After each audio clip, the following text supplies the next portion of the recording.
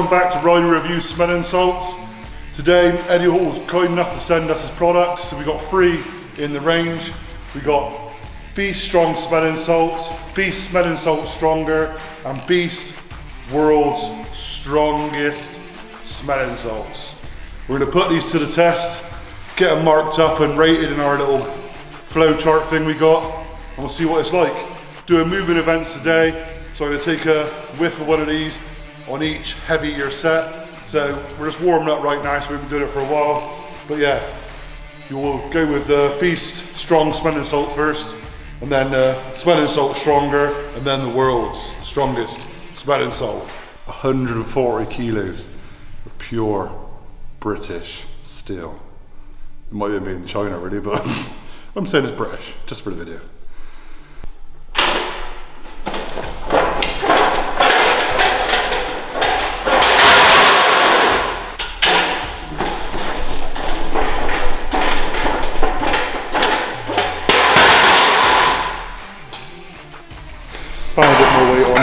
Ain't sure if this is a working set yet on the yoke because I'm not in pain, but obviously I'm getting aches from using the muscles. So we're gonna go ahead and try the first smelling salt and see how it feels on this run. It's only 190 kilos on the yoke, but to me, that's a big weight when I just had surgery on my stomach. So we'll try it out, see what it's like. As always, we'll start from here and bring it up like I always do. As I say, I'll start from and step it, but it never happens because I just love the smell of it. So here we go. This is strong smelling salts, the first in the Beast range.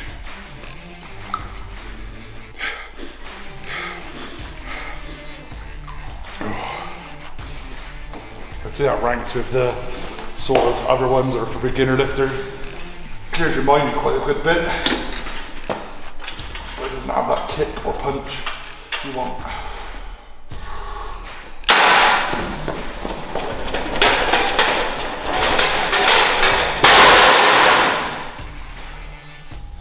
Yeah, baby. Yes, feels good. That speed and that yoke felt like I really pick it up then.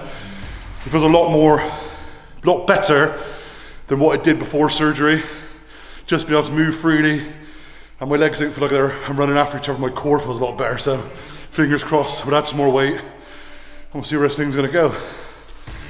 Beast smelling salt, first one in the range. Definitely good. I'd say it ranks in the lower bit of what we got so far. Probably a bit higher than maybe one or two. We'll rank it at the end. But yeah, it wasn't a smack in the face, but it definitely cleared my mind and gave me what I wanted, so happy days. Number two in the Beast range, stronger smelling salts. See if it's any better than the first one. We got 230 on here now, Chinese dentist. And we're just gonna get it in as fast as we can after smelling this. And then we'll have a little chat about it after. All right.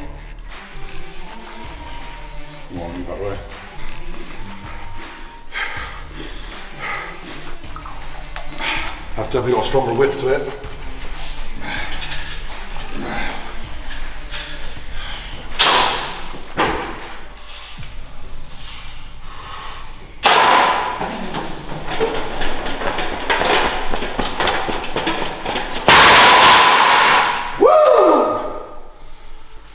That definitely gave me what I needed, that salt. It wasn't too strong, it was stronger than the first one.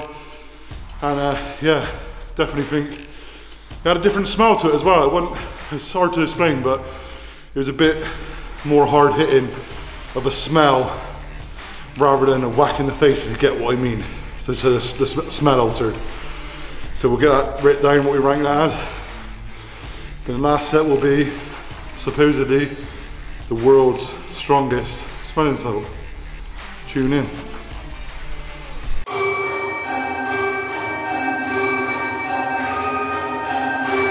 So here we go. It's time to test the world's strongest smelling salts.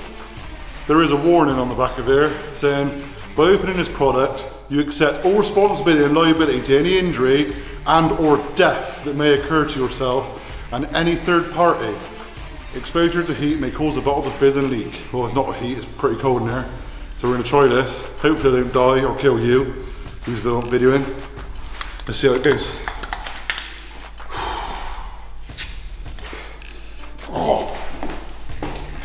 Jesus. Oh. That's a nose burner. Right, strong.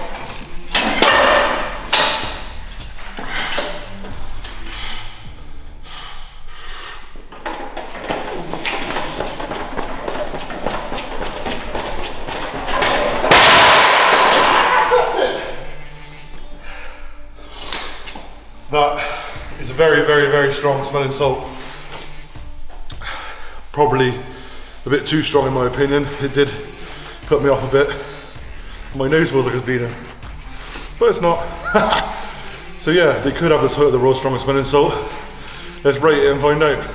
So that's the review done. Obviously we got our figures worked out now. This is the first one. We're gonna give a 6.5. I think it's great introductory salt for beginners and it works really well. This one, we're gonna give a 7.5. Middle of the road, really good. And this one has an 8.2. If you want a really strong smelling salt that knocks your head off, then that's for you. It burnt my nose and it smacked me in the face like it's supposed to. Like I said all the way along throughout this process, we're not always going for the one that smacks you about. You want ones that give you clarity, focus for your lift. For me, personally, the strength of that put me off my yoke run. But if you like that kind of thing, it is for you. So that's the scores on the doors. Thanks to Eddie for sending them along. And uh, as always, we're giving you an honest review so you can use what you want to use to get you through your training. Take it steady. Oi!